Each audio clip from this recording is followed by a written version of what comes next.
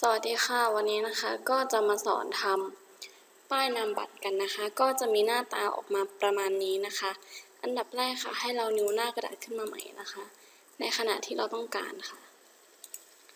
หลังจากนั้นนะคะให้เราใส่สี background ค่ะ โดยเลือกสีที่เราต้องการนะคะ ให้เรามาที่ layer background ค่ะ แล้วก็ใช้ถังสีในการเทสีลงไปนะคะ หลังจากนั้นค่ะ ก็จะเห็นว่าในนี้นะคะ เราทำเส้นขอบไว้ เราก็จะมาทำเส้นขอบกันนะคะ โดยการ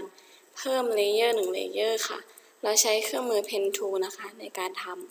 ำก็ให้เราคลิกเลยค่ะ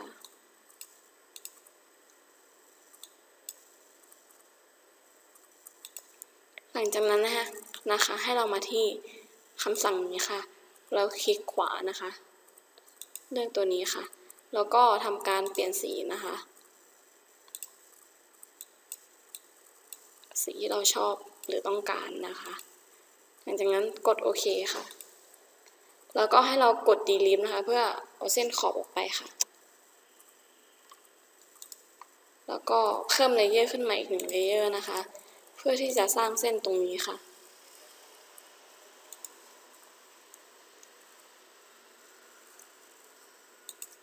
การที่จะทำให้เส้นตรงนะคะ เราควรกดชิปค้างไว้นะคะ เพื่อให้เส้นขอบของเราเนี่ย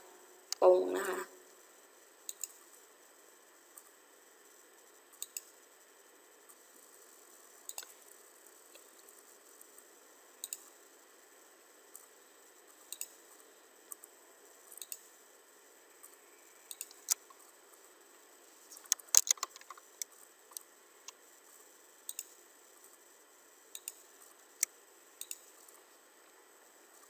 ทำเหมือนเดิมนะคะ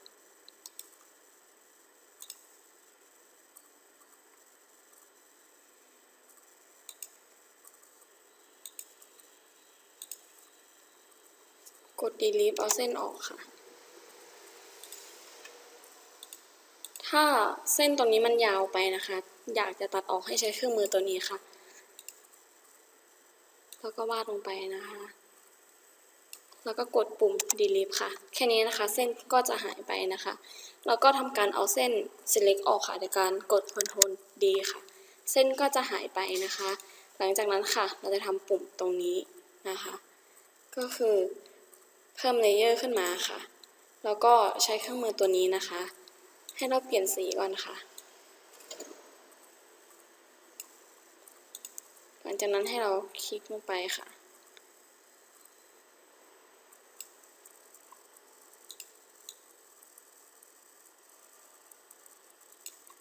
แล้วก็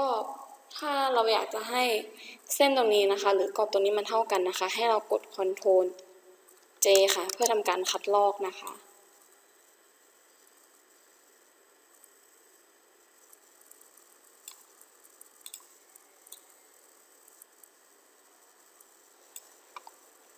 ค่ะ หลังจากนั้นนะคะเราจะทำการรวม layer ค่ะ โดยการคลิก control ค้างไว้นะคะ แล้วก็คลิกขวาค่ะ เพื่อคำสั่งนี้นะคะ แค่นี้นะคะ layer ก็จะมา รวมกันแล้วนะคะ ต่อไปค่ะ เราจะทำเอารูปโทรศัพท์ แล้วก็ Facebook แล้วก็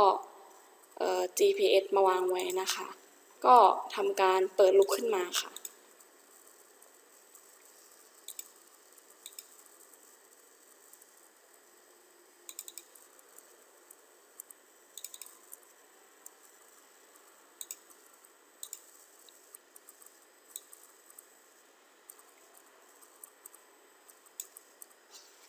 ถ้ารูปใหญ่ไปนะคะ ให้เรากด Ctrl T ค่ะ เพื่อทำการย่อขยายรูปภาพนะคะ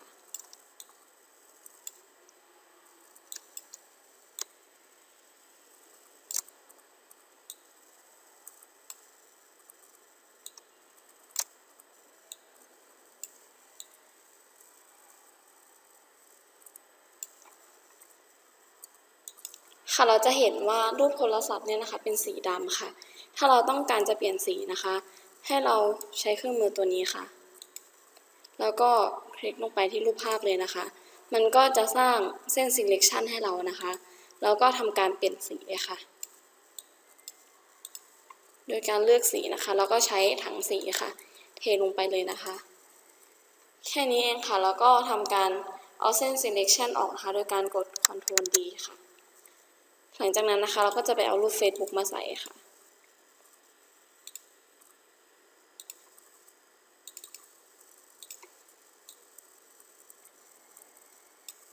ทำเหมือนเดิมนะคะ กด Ctrl T เพื่อทำการย่อรูปภาพลงนะคะ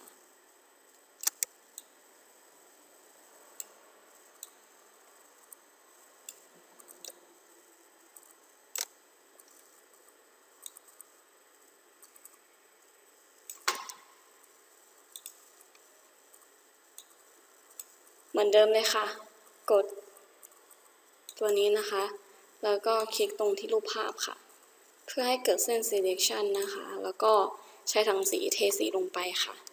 กด Ctrl D เพื่อเอาเส้น selection ออกค่ะ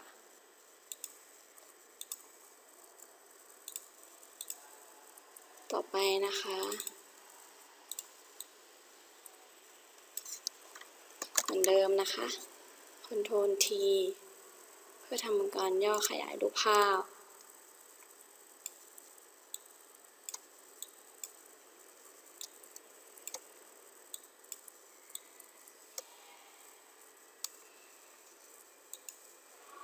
เหมือนเดิมค่ะ ใช้ตัวนี้นะคะ เพื่อให้เกิดเส้น select เทสีลงไปค่ะ หลังจากนั้นกด Ctrl D เพื่อเอาเส้นออกนะคะ หลังจากนั้นเราก็จะพิมพ์ข้อความลงไปนะคะ โดยใช้เครื่องมือนี้ค่ะ คลิกลงไปนะคะ แล้วก็ปรับขนาดของตัวอักษรค่ะ แล้วก็เปลี่ยนสีก่อนนะคะ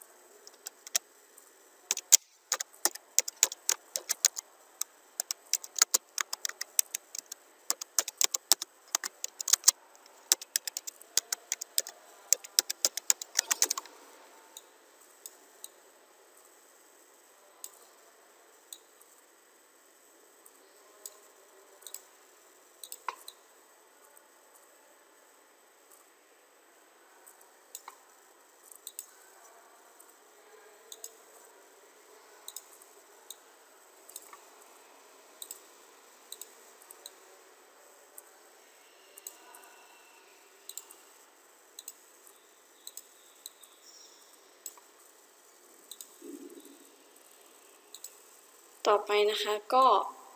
พิมพ์ชื่อแบรนด์ของเราลงไปนะคะ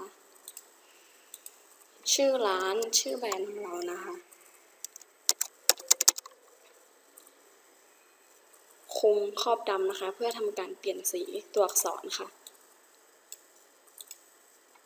แล้วก็เปลี่ยนรูปแบบของตัวอักษรนะคะ ที่เราต้องการเลยค่ะะคะก็เสร็จแล้วนะคะสำหรับป้ายนำบัตรนะคะ หรือถ้าใครยังไม่พอใจนะคะ ก็ทำการเอารูปภาพหรือทำลวดลายต่างๆ ในการตกแต่งเพิ่มได้อีกนะคะ